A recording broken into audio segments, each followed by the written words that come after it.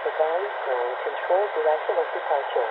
Advise on initial contact you have information Charlie.